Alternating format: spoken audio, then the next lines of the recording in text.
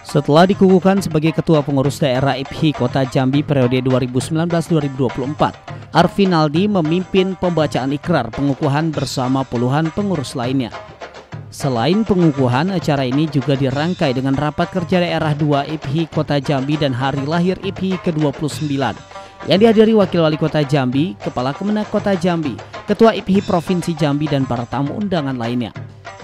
Acara ini mengangkat tema Haji Mabrur sepanjang hayat guna meningkatkan partisipasi umat dalam membangun kota Jambi.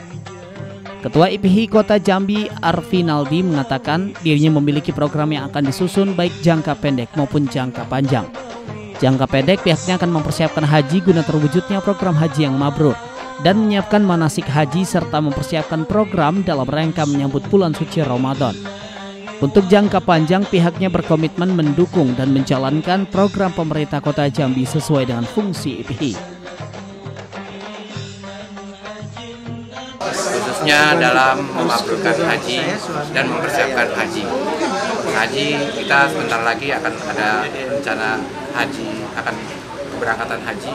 Kita biasanya akan menyiapkan untuk manasik haji. Oleh, makanya kita akan segera siapkan. Dan ada beberapa langkah lagi untuk persiapan dalam rangka ini hari e, rencana kita akan memasuki bulan suci Ramadan. Tentu IPHI pasti akan berperan. Suci Mahayanti, Jambi TV.